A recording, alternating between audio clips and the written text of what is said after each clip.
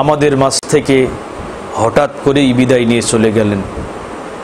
আল কোরআনের প্রাণবন্ত ধারাভাষ্যকার বক্তৃতা জগতের এক উজ্জ্বলতম জ্যোতিষ্ক।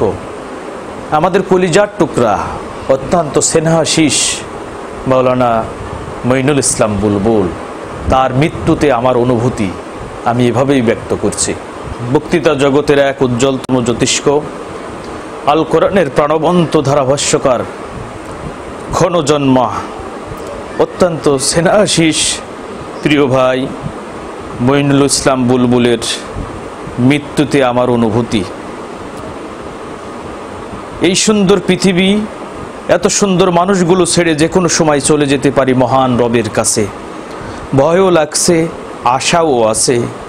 মরিচিকাময় পৃথিবী, মিশে সব মায়া, মিশে প্রেম আর মিশে ভালোবাসার হাতছানি। কেউ কাউকে মনে রাখে না। মনে রাখে ততক্ষণ, যতক্ষণ প্রয়োজন। ঘুমন্ত কবরে রেখে আসার পর সবাই ধীরে ধীরে ভুলে যায়।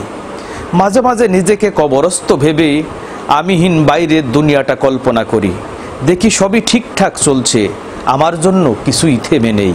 অফিসের আমার চেয়ারটাও খালি নেই খালি নেই বাসার বিছানাটা। খালি নেই যাদের মনে যতটুকু ছিলাম সেই জায়গাগুলো সব দখল হয়ে গেছে। কলিজার টুকরা সন্তান আর প্রিয়তম স্ত্রী যাদের ছাড়া আমার পৃথিবী ছিল কল্পনাহীন, তারাও স্বাভাবিকভাবে জীবনযাপন করছে। আমার রেখে যাওয়া সম্পদ সবই ভাগ করে ভোগ করছে। আমি হিন দুনিয়া, বেশ ভালোই চলছে, কিন্তু কেউ জানে না, কেউ জানে না আমি কেমন আছি।